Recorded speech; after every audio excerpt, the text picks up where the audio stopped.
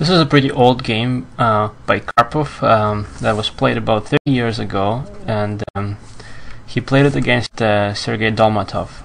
Uh, this game shows a, a, very good example of how to um, exploit the weaknesses uh, of the pawn structure that black gets in a Sveshnikov variation of the Sicilian defense. Um, after the opening moves, uh, we get the pawn structure where white has a strong knight on d5. And um, in this line, where white plays knight to d5, uh, his intention is uh, after bishop e7 to exchange on f6, and thus to keep his knight on d5 for the time being. Um, c3, castle, knight c2. White intends to play a4, and by doing that uh, to put pressure on the a pawn and also to free up the square on c4 for his bishop. Uh, in this line, um, which black chose in this game, uh, black tries to prevent that, so he goes rook to b8, and therefore if white goes pawn to a4, then black is going to capture and then capture on b2. Um, one way for white to deal with that is to uh, try to exploit that uh, delay and to start to attack on the king side with pawn to h4. Uh, the idea is that uh, now the bishop is deprived of the g5 square. Um, it's bad for him to take on h4 because of queen h5, obviously, and um, this allows white to then transfer the knight to e3, and the bishop won't be able to challenge it. Um, even so, even though this is now the main line. Bishop e2, which Karpov played, is also a pretty good option. It makes the game less theoretical, but there are a lot of positional subtleties, uh, as we'll see. So now, as normal, black puts the bishop on g5, and now he's going to capture on f3 if the knight ever comes out that way.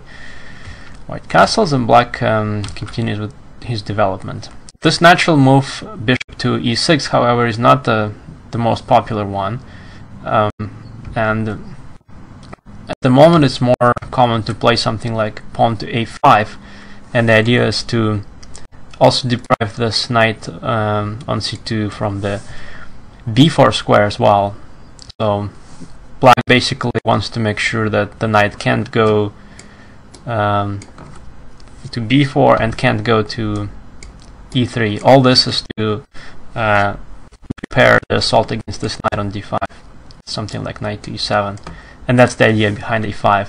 First, uh, prevent knight c to b4, and then to play knight to e7 and challenge that knight.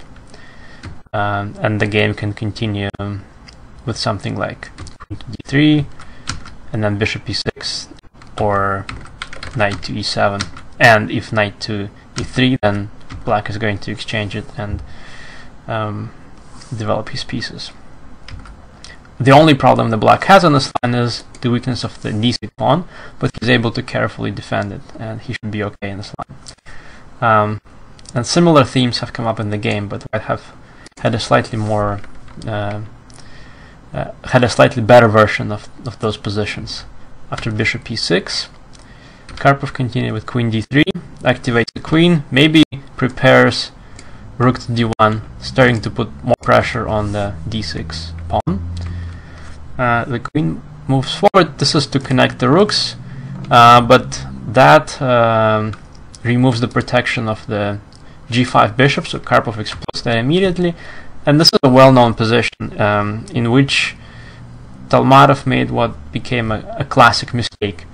Um, and um, played pawn to f6.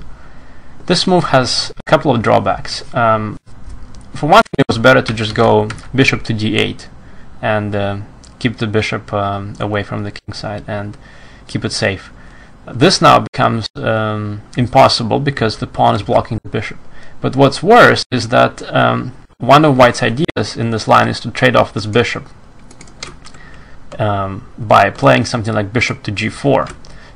If the pawn stays on um, f7 and white goes h3 and then say bishop to g4, black is just going to ignore it. And if white takes, he's going to capture back with the with the pawn, and he's going to have a better control over d5 square that way.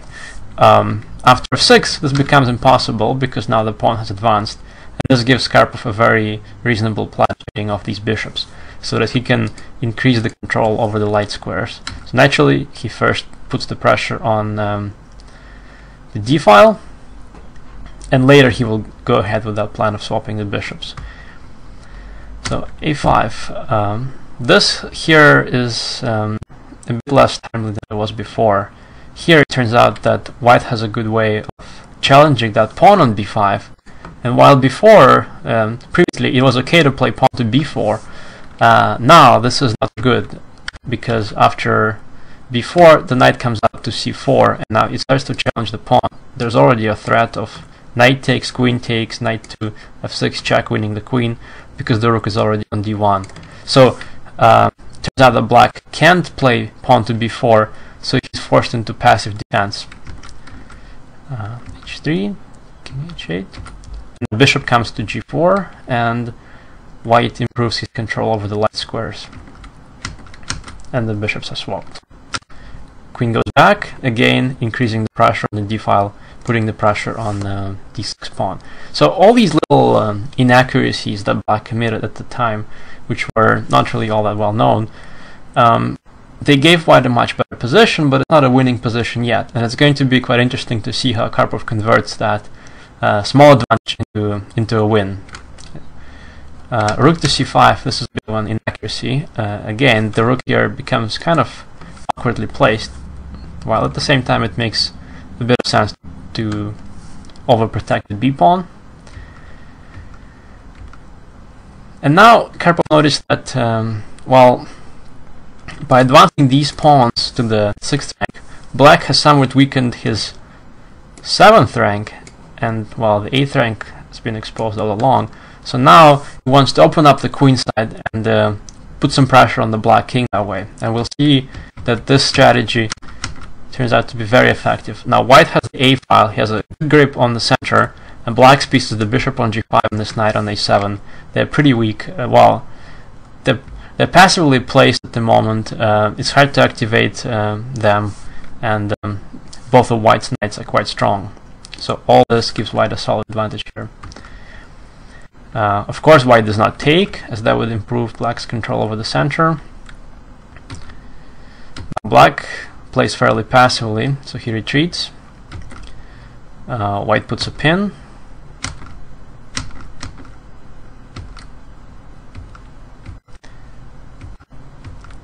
Now, black has obtained a bit of the counterplay on the f file. So white's uh, next few moves are aiming at um, reducing that pressure. So, for example, he cannot play g3 because that would give uh, black a pretty strong attack after the piece sacrifice. He only gets two pawns, but um, there's still a fair bit of pieces on the board, and he may have some potential. Um, say if white goes knight to e3, he may try to bring more pieces to the back, and he's got some good targets. So this would be a pretty unclear position. So Karpov avoids all that. He goes rook to f1, um, and um, he may want to play g3 later, but for the time being, f2 is well protected. And this rook is kind of stuck here. It can't come back and put any more pressure on f2. Um, so black had to continue with knight to e7. White continues to put the pressure on d6. And now this is probably one of Black's last few chances to create counterplay. Uh, as Kasparov has pointed out in his book, um, Black should have done something like this. Um, basically giving the queen the e5 square and um, coming out with the pieces, putting pressure on the c pawn, keeping his pieces active. Um, this would have given him some play uh, for the pawn. He may have been able to achieve that way. In the game, after queen d7, black just becomes more and more passive. He has to retreat. Um, uh, it was too late to, to put pressure on um, f2, and Karpov now increases his initiative. He now doesn't want to trade um, this bad rook because it's really stuck here. it doesn't have any good squares. So instead he notices that while this rook is um, defending the king, so he plays rook uh, 6 to a3, and now the idea is to transfer rook over here and weaken the black king even further. Um, this is total domination. This knight is so much better than this bishop. So after a few more moves, um, now there's more threats to the king. Um, black had to win his king, and um, this is a decisive invasion. White's threatening with queen to uh, f6, uh, and black has no defense against this. Check, and white's just basically going to checkmate the king or win the pawn.